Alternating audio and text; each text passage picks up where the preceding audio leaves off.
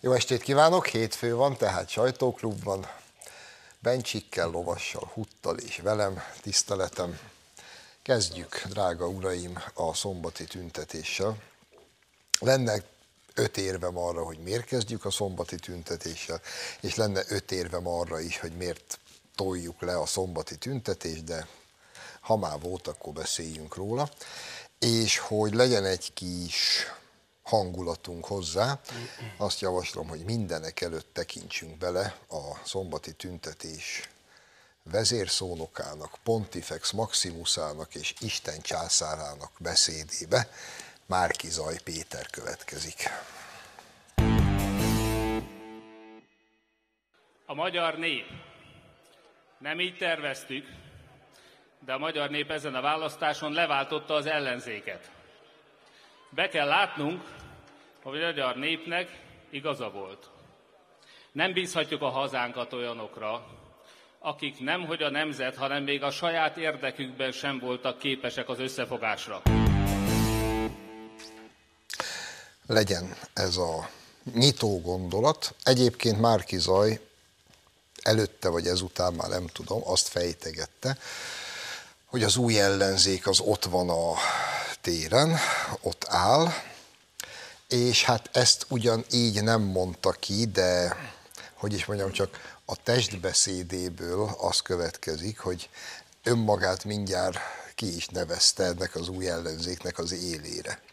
Tehát Márki Zaj miközben különböző az ő fenekét nyaló médiának azt nyilatkozza, hogy ő nem foglalkozik országos politikával, mert neki rengeteg dolga van hódmezővásárhelyen, eközben meg de igen, és mindjárt Orbán első számú és egyetlen jövendőbeli kihívójaként tételezi fel magát azzal a érdekes összetételű tömeggel, ami őt hallgatta, és egyébként a Magyar Narancsnak adott interjújában, azt hiszem a címe is ez, hogy én képes vagyok összekötni ezeket a világokat, mármint akkor a meleg büszkeség napján felvonuló büszke meleget, meg a betyársereg pólóban felvonuló betyárseregest.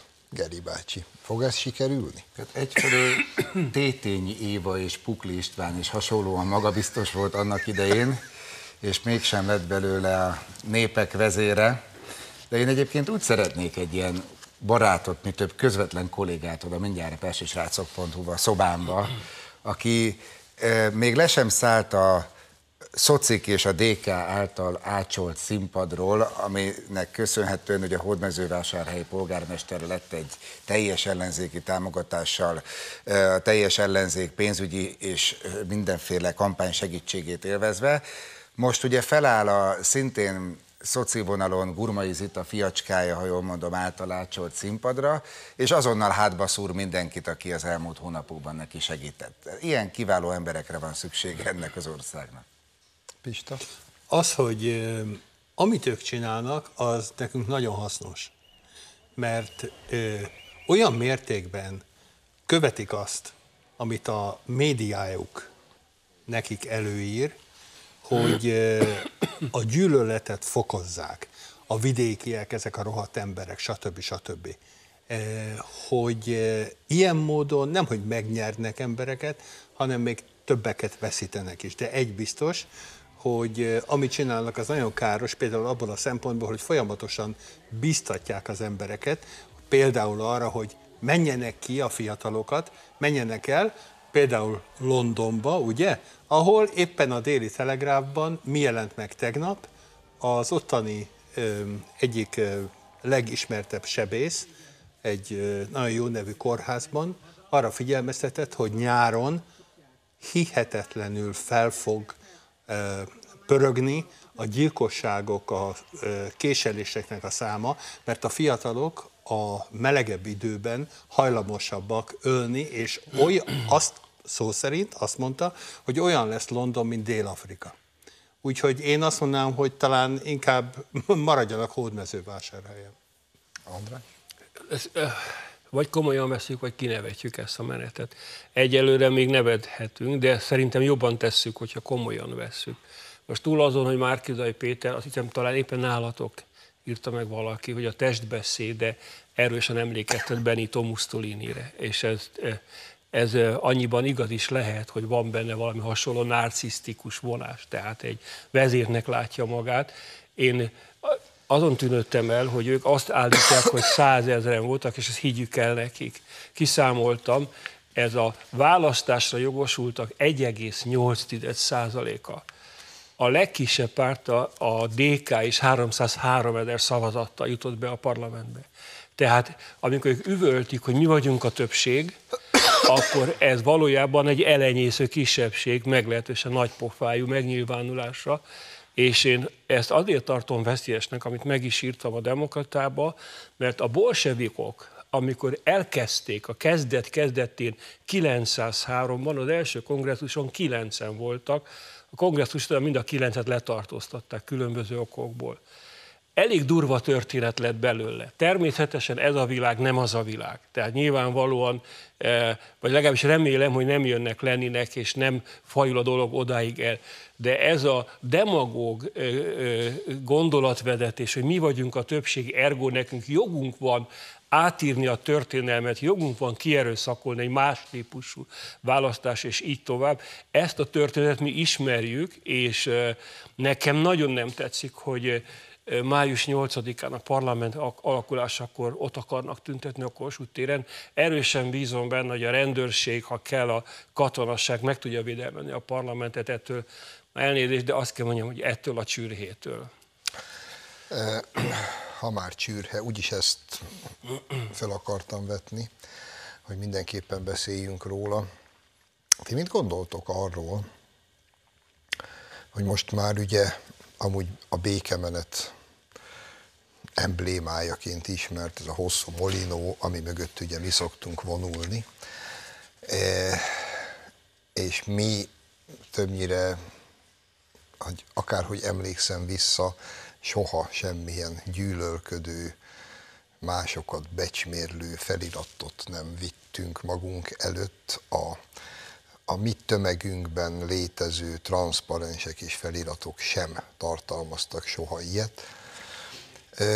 Ezek meg ugye most odaállnak egy olyan molinó mögé, Orbán egy, és akkor meg van ismételve, amit Simicska mondott három évvel ezelőtt, ami most már egy ilyen, nem is tudom, egy ilyen bevett formulája lett a magyar politikai közbeszédnek, ami majd Istvánra is nézek kérdően, hogy ő mit tud erről. Én azt gondolom, mondjuk, ha Németországban a tüntetők egy olyan molinóval mennének ki az utca, hogy Merkel egy, hm? akkor szerintem letartóztatnák őket. De erre még nem volt példa. Persze, de csak mondom, hogy akkor Nem tudom, hogy mit történt, mert nem, én nem tudok példát. Na most a, igazából a kérdésem, hogy eh, amikor kiírják ezt, és mögé állnak, és akkor emögött a felirat mögött vonulnak büszkén,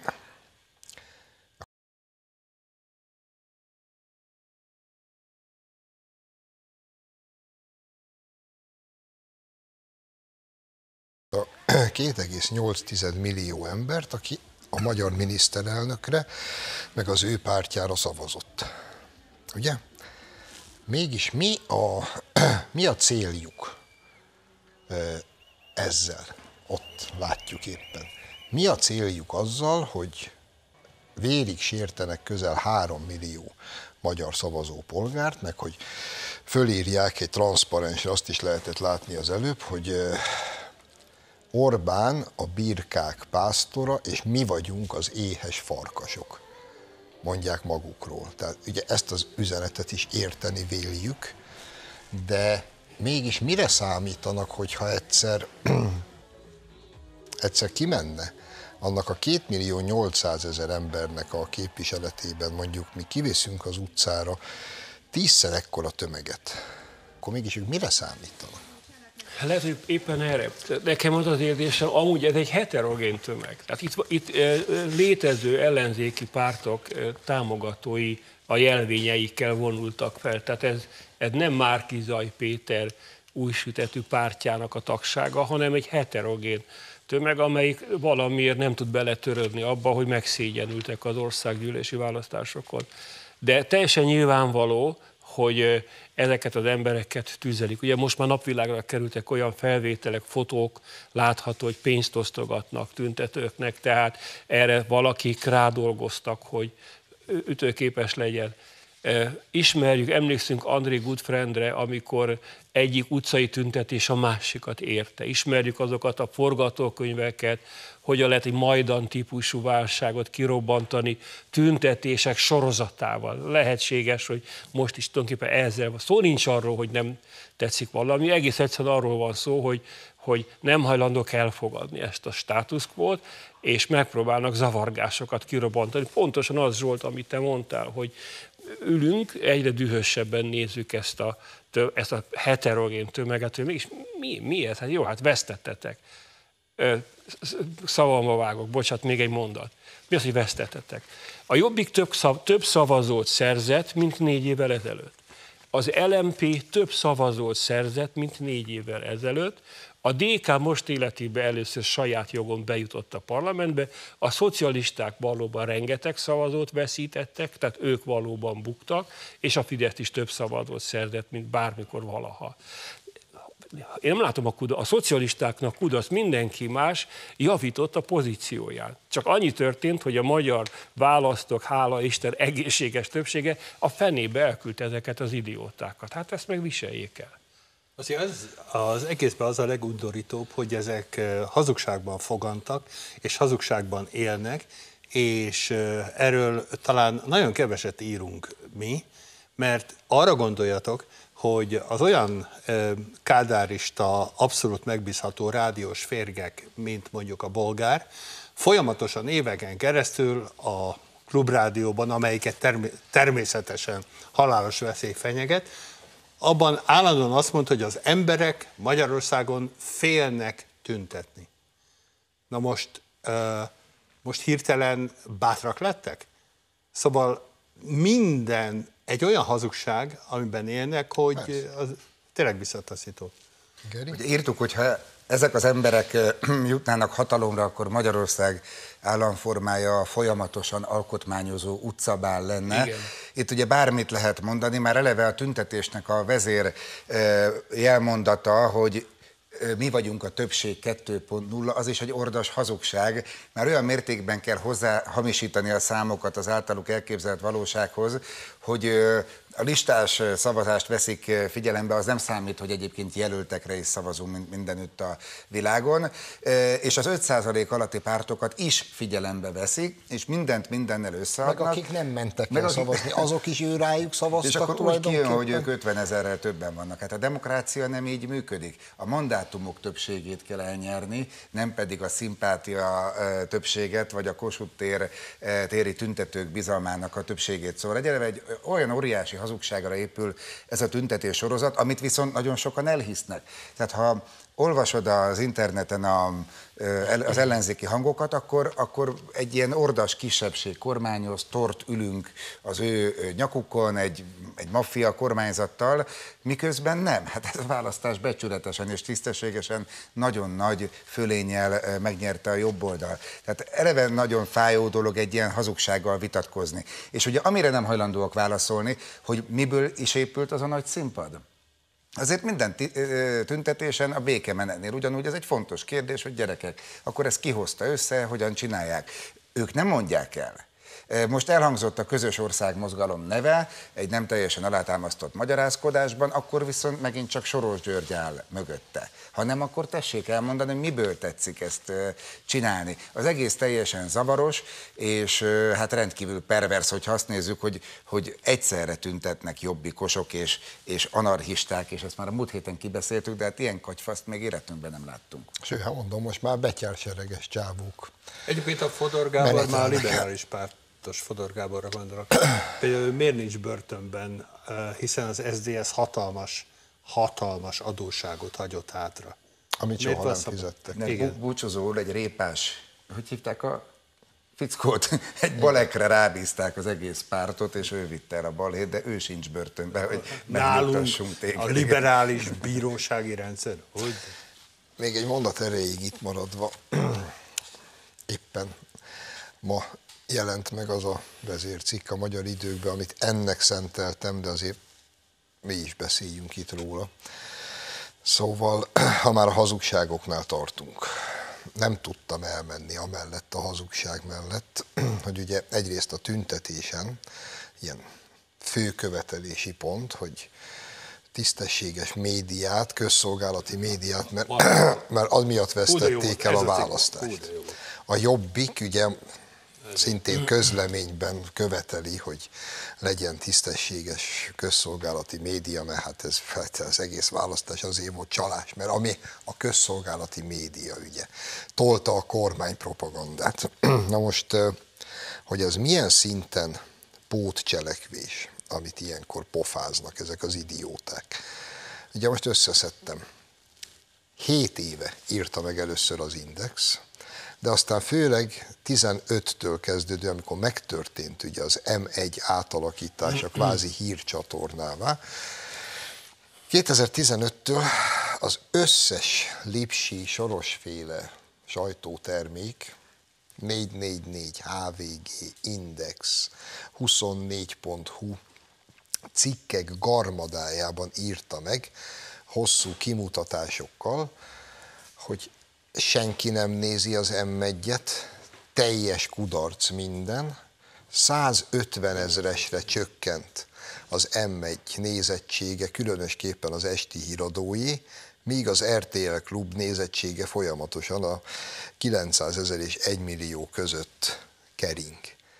És akkor ugye, ja, persze a TV2 is azonnal megfelezte nézőinek számát, tehát magyarul négy éve írják folyamatosan, hogy senki nem nézi a közszolgálati tévét, csak az RTL-t, mert a TV2-t is felelően nézik, és akkor ott van még a Hír TV és az ATV, azzal szemben vagyunk egyedül mi itt az ECHO-ban, persze minket se néz a kutya se, ezt megírják négy-öt éven keresztül hetente, majd elvesztik a választást, és megtalálják a főbűnöst, a senki által sem nézett magyar közszolgálati televízióban. És nem sül le a bőr sisteregve a mocskos pofájukról. És azt mondják, hogy vidéken csak a közszolgálatot lehet fogni. Aha. Hát mutass nekem Haza, egy olyan csak vidéket, az RTL ahol, mindenhol. Igen, és mutassál nekem, ahol az alapcsomagban nincs benne a Hír TV, nincs benne az ATV, de hogy meg ilyen, RTL, és hogy mi TV ilyen szerencsétlen kormányunk van,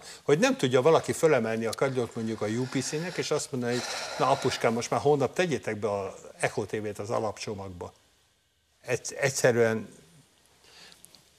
nem tudnak megbarátkozni azzal a gondolat, hogy elvesztették a nyilvánosságban a hegemon szerepüket. Mert az elmúlt most már lassan 20 évben ahhoz szoktak hozzá, és sajnos mi is tűrnünk voltunk kénytelen, tűnni voltunk kénytelen ezt, hogy elképesztő balliberális túlsúly volt a nyilvánosságban.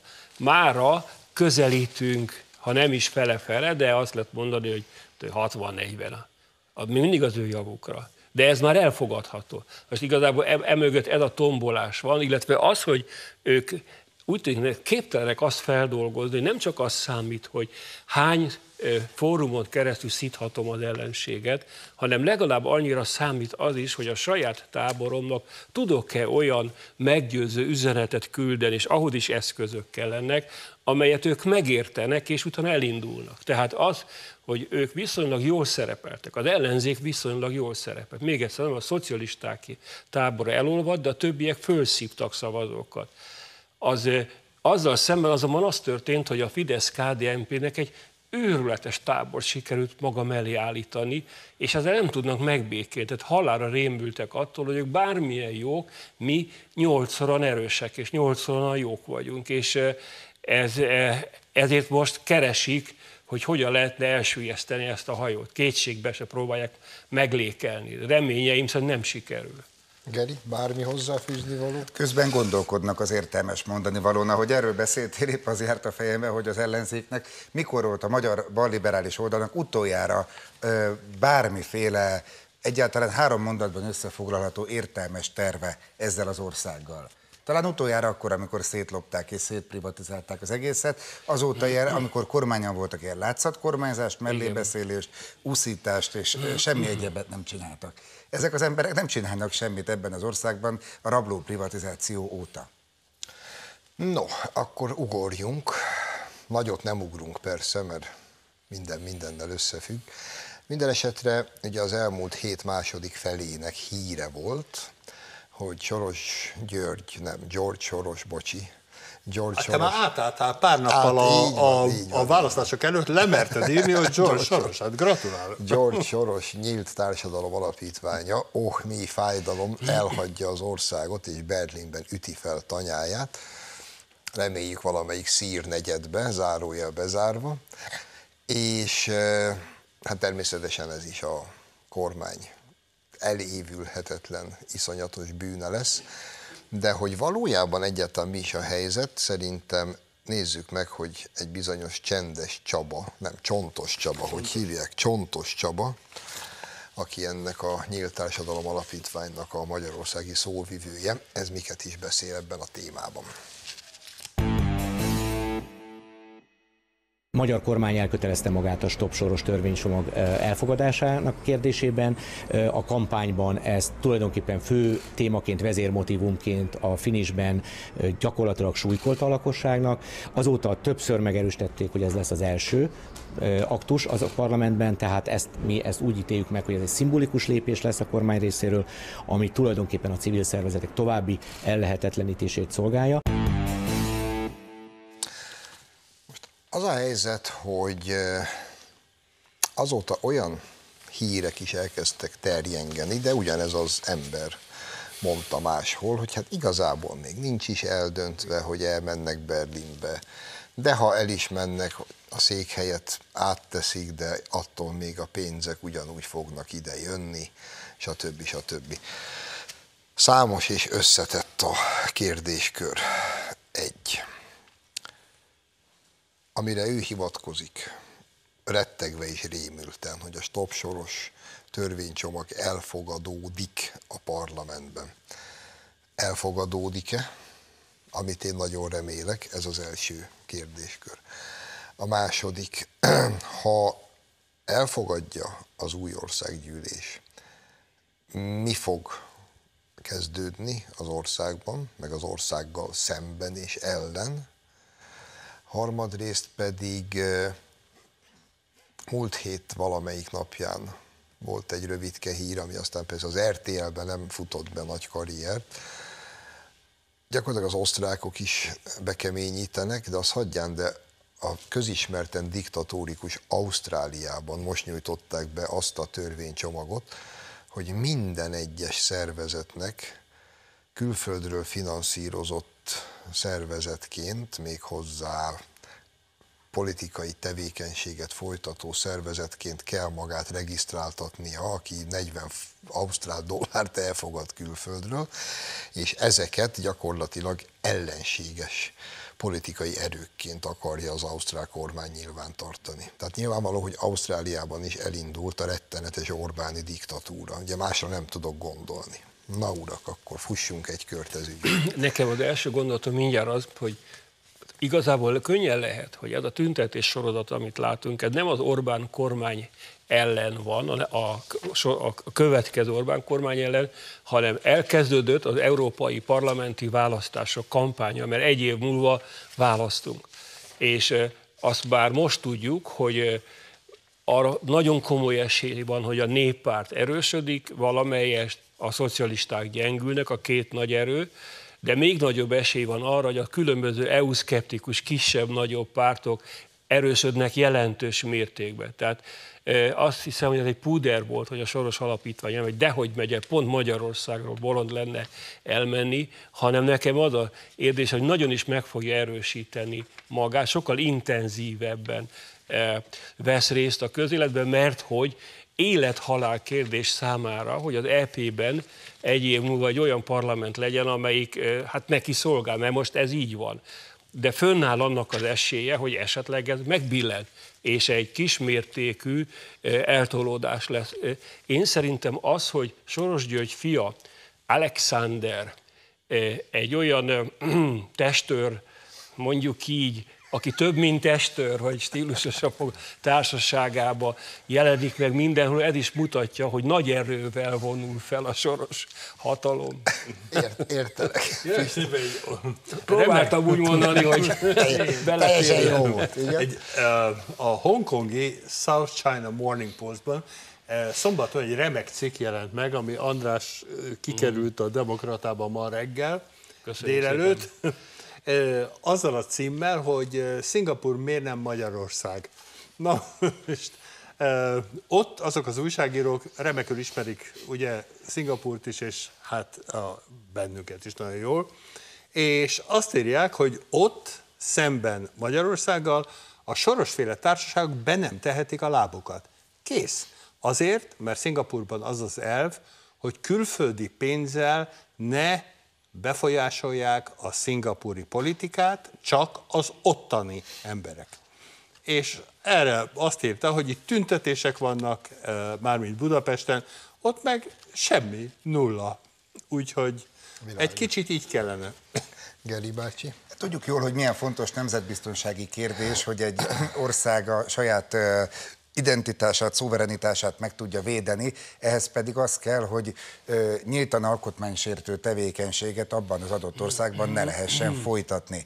A soros szervezetek a homlokukra kitették, és tulajdonképpen miután lelepleződtek, nem is nagyon cáfolták, hogy ők a migránsokat átcsempészik a határon, segítséget nyújtanak abban, hogy ezt hogyan tehetik meg. Ugye listákat készítenek róluk, amit egy kiváló orosz-izraeli ügynök segítségével ma már az egész ország tud, hogy ilyen listák eh, készülnek a migránsokról, akiket a tranzitzónában sikerül eh, valahogyan számba venniük.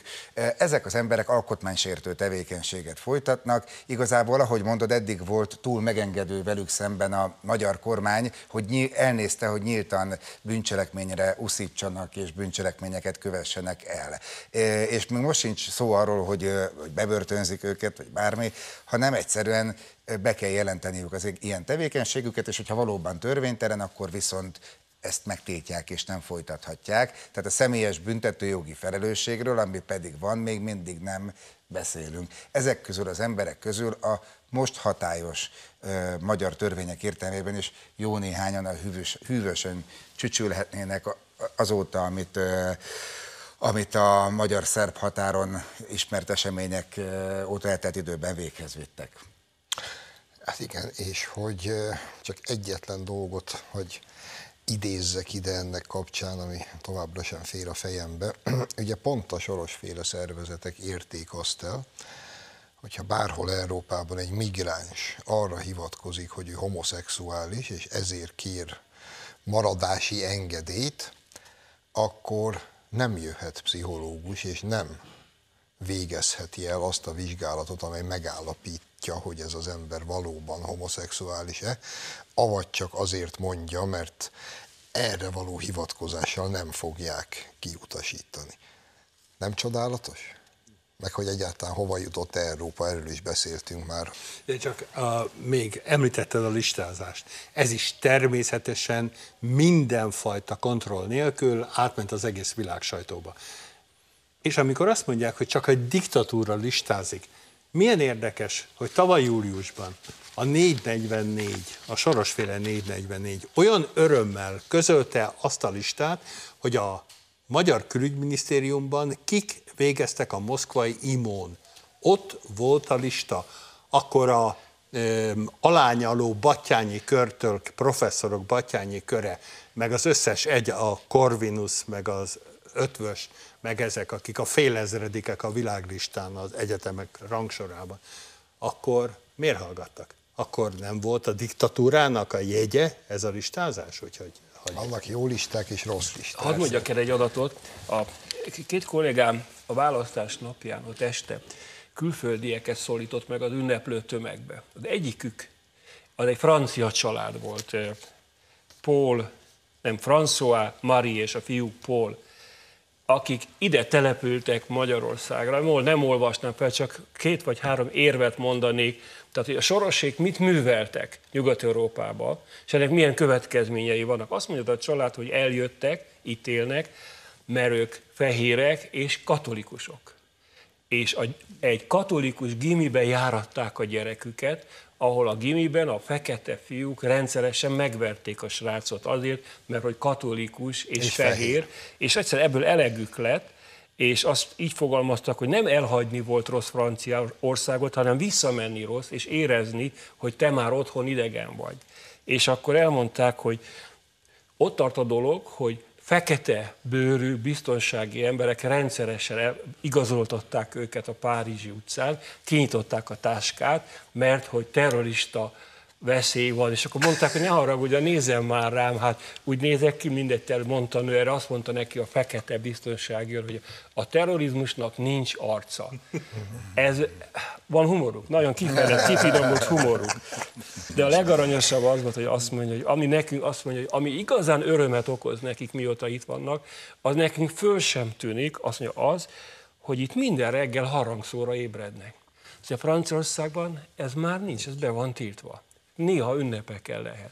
Szóval azt szeretném mondani, hogy amikor elbizonytalodik valamelyikünk, hogy, hogy hát azért biztos, hogy van valami értelme ezeknek a civil szervezetek, akkor erre kell gondolni. Ezek olyanok, mint a vadkender, hogy megtelepednek a kertekbe, és olyan virágport bocsájtanak a levegő, mint ha mindenki rosszul lett, és allergiás lesz tőle. Tehát egyszerűen, és nem vet, hogy a vadkender ellen Európában mindenhol háborút hirdetnek. Ki kell írtani. Tehát a soros szervezetek pontosan így teszik tönkre egy adott közösség életét. Ez, de nem csak franciával beszéltek, beszéltek egy svéd családdal, beszéltek egy német családdal, egy brit családdal, és mindegyik itt akar élni. Nincs az a, az a nyugodt ilyen győzelem utáni kellemes sajtóklub, ahol az András ne provokálnak ki egy ilyen teljes magyar liberális oldal tiltakozó jegyzékét a, műsor ellen, amit írtani és azt hiszik, hogy a nem, Senki nem úgy értette, persze, persze. E, csatlakozván ehhez, én éppen ma e, délelőtt ültem egy egy egyébként magyar származású, de már Németországban született e, ismerősömmel, 15 éve ismerem legalább. E, echte német férje van, van egy 8 vagy 9 éves e, kisfiúk, és hát ott van egy ilyen viszonylag nagyobb magyar származású, de már mondom másod, harmad generációs, tehát kint született fiatalok, akiket ők azok, akik még talán utolsók voltak, amíg működött Németországban a magyar nyelvű gimnázium, a Kast, Kastli. Igen, e, ők még ott végeztek, uh-huh. tehát ők uh-huh. már gyerekként megtanultak. Igen, már gyerekként megtanultak magyarul annak ellenére, hogy német környezetben élték le az egész életüket. Na mindegy, és ugye beszélgettem vele, és kísérteties, hogy ugyanezt meséli, hogy számos barát és ismerős vagy már visszaköltöztek, de mondom, echte német férjek, feleségek jöttek boldogan, vagy tervezik, hogy jövőre, két év múlva már itt, akkor felszámolják a kinti üzletet, jönnek haza, és ugyan ez mindenhol, hogy a gyerek az iskolában nem lehet elengedni, megverik, megalázzák, az egész élet egy porzadájá vált, és jönnek haza Magyarországra. Na csak, hogy világos legyen a... Egyébként 20-án egy svéd portálon leírták azt, hogy az ottani óvodába 122, nem, bocsánat, 120 gyerek jár, és abból kettő svéd, és az óvónők és a személyzet arra panaszkodik, és ez angolul volt, hogy ilyeneket ordibálnak a gyerekek, hogy fuck you. E, és óvodába. Óvodába. Óvodába és ma volt először, hogy az osztrák közszolgálat olyan döbbenetes, de tényleg ez páratlan, az a tárgyilagos módon, ahogy leírta, hogy micsoda iszonyatos változás van Svédországban, hogy eddig nem mondták, de most már kiderült, hogy 60 no-go zóna van, és hogy mi történik, az erőszak, stb. ebben a lágy, kellemes, liberális Svédországban, ami az volt. Ez tényleg ezt érdemes elolvasni. Hát akkor citáljuk már ide egy mondat erejéig, szintén kétnapos hír. 200 francia írta alá azt a kiáltványt, hogy tiltakoznak a Franciaországot előzönlő arab-muszlim antiszemitizmus ellen, és a Gerard Depardieu-től a volt francia államelnökökön keresztül belügyminiszterekig 200-an aláírták. És- Mikö- miközben 200 soros És, valaga. Mer- és Merkel mit mondott tegnap? Igen, hogy ott is. Hogy ott nem, Is. most őt meglepte, ez teljesen megdöbbentette, hogy nem tud mit csinálni, és minden zsinagóga, zsidóiskola, stb. elé fegyveres őröket fognak vezetni. Na, és uram. akkor a politikó lehozza egy pár mondani. nappal ezelőtt, azt mondta. Szintén 200, izé, hát már beszéltünk, 200 Igen. soros valaga körüli értelmiségi nyílt leveleti, hogy Magyarországon tombol az antiszemitizmus. Anyátok, az tombol. Ö, utolsó kis, kis színes, ugye hétvégén Er- Erdélyben voltam, mert most már ötödik alkalommal van egy ilyen Kárpát-medencei író, olvasó találkozó, György Attila barátom szervezés. Ő mesélte el Attila, ugye Csíkszeredában él, Fölhívta egy Ausztráliából egy újságíró nő. Már, már akkor belenézett a telefonba, hogy hogy találták meg. Választás előtt még, hogy nyilatkozzon már arról, hogy, hogy hát itt a magyarországi választásokról mi a véleménye. Mondta, hogy jó, hát per, igen, mi, mi. A második kérdés az volt, hogy hát ar- arról mit gondol, hogy, hogy olyanok szavaznak vele együtt, akik nem is adóznak. Románok, románok, és nem adóznak Magyarországon, ők miért szavazhatnak? És akkor Attila barátom bevette a nyugtató piruláját, és válaszolt, hogy hát egyrészt román az anyád, másrészt én speciál adózom Magyarországon, annak ellenére, hogy itt élek, de egyéb okoknál fogva én fizetek adót Magyarországon, de amúgy valóban sokan vannak, akik nem adóznak, de hát, és mivel januárban voltunk kint, pont Attilával Ausztráliába, tehát frissek a információink, visszaírt a nőnek, hogy de akkor ennek analógiájára árulja már el, hogy az aboriginelek Ausztráliában, akik teljes adómentességet kaptak az ausztrál államtól, semmilyen adót soha nem kell fizetniük. Ellenben minden választáson voksolnak, akkor az nem baj. Mire a nő azt mondta, hogy az egész más, hát ők mégiscsak őshonosak. Mire az Attila mondta, hogy te tényleg meg fogsz döbbenni, mi is. És erre, csak erre ez a kis izé, lipsi nő, akinek nyilván rá volt úszítva Attilára, becsületére legyen mondva, hogy egyrészt mindezt lehozta, másrészt meg azt írta Attilának, hogy most már kezdem érteni. Na, Jöjjön. bravo! Na gyerekek, végére azért, hogy mégiscsak több, mint érdekes ez a téma. Ugye gyárfás, fenyő, és most már tasnádi. Tehát most már lassan ez az egész ügy kezdi kinőni önmagát, mert az sem volt egy érdektelen pillanat, mikor múlt héten elvitték Gyárfás Tamást, ugyebár. Letar- letartóztatták és bevitték és kihallgatták. Tőletek hagy idézzek. Fenyő János titkos dossziéjáról faggatták a Horn kormány egykori belügyminiszterét, Kunce Gábort a rendőrök a fenyőgyilkosság ügyében.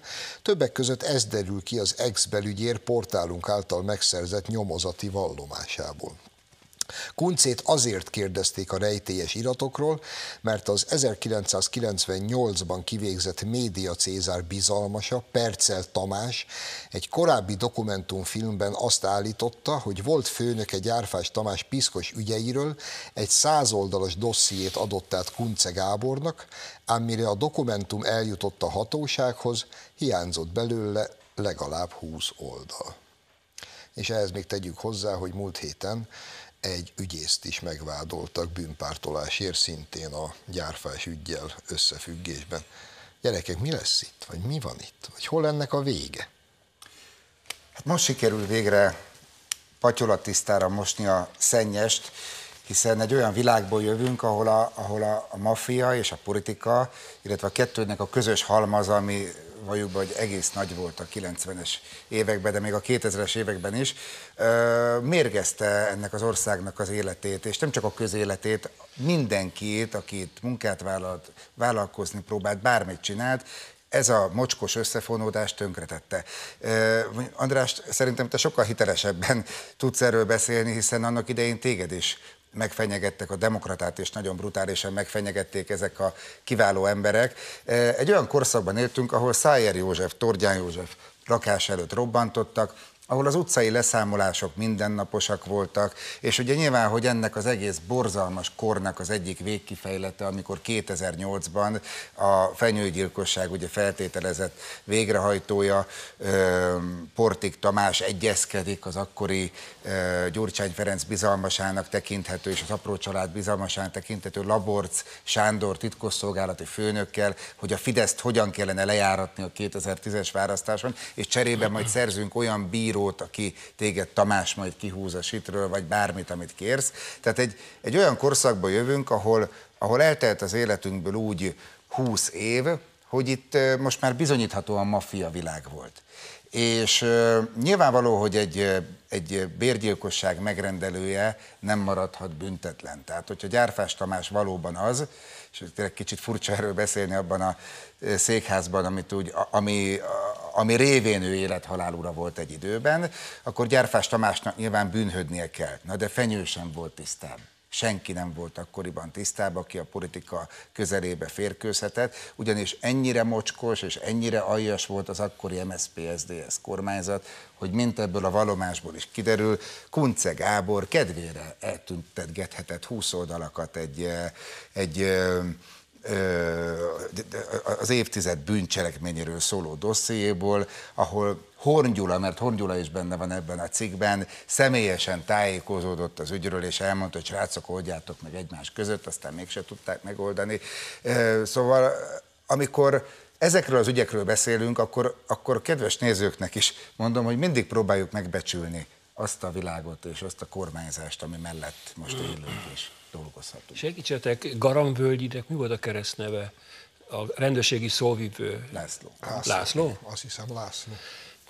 Én arra emlékszem, nem sokkal a fenyő gyilkosság után, mint, mint rendőrségi szóvivő közölte, a rendőrség tudja, hogy ki a felbújtó, egy közismert médiavállalkozó. Ez így elhangzott a nyilvánosságba.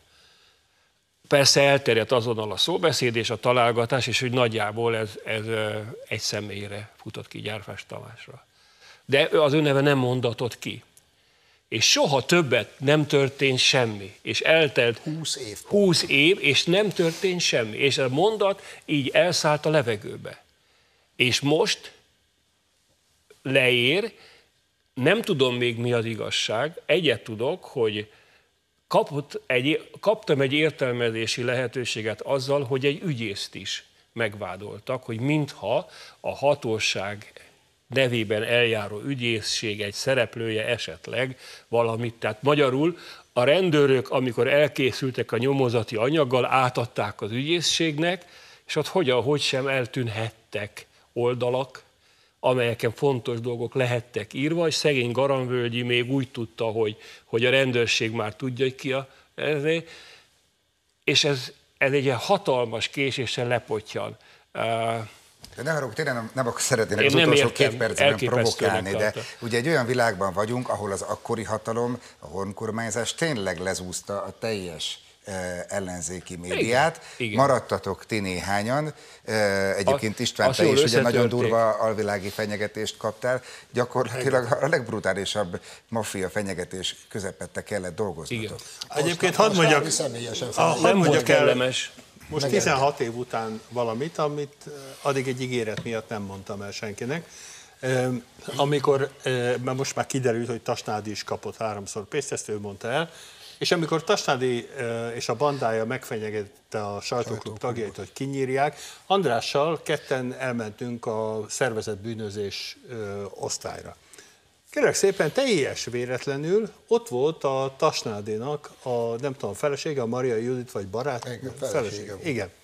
És András behívták, és mi ketten maradtunk a folyosón, és megkérdeztem tőle, hogy eh, ön miért van itt? És elmondta a következőt.